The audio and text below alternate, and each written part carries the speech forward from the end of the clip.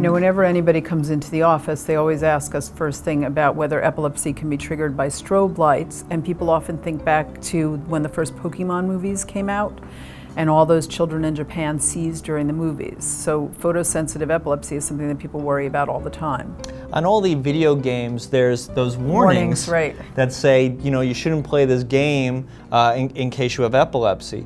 But only one specific type of epilepsy has photosensitivity to it, and that's a generalized epilepsy. So that's when the whole brain turns Lights on at up once. all at once. There's a big burst of electricity through the whole brain.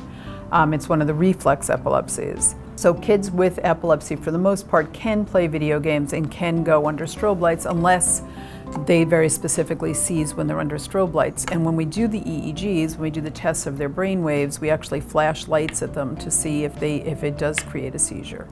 So by doing the EEG and flashing the lights in the child's eyes and having the EEG run at the same time, we can conclusively tell families whether the children can play video games or not play video games, and that will make a child very happy, hopefully, finding out that it's perfectly safe to play the video games and that they don't have photosensitive epilepsy. as well as the teenagers and the young adults who will call or text and say, Can I go? We're going to a party and I know there's going to be strobe lights. Is that okay?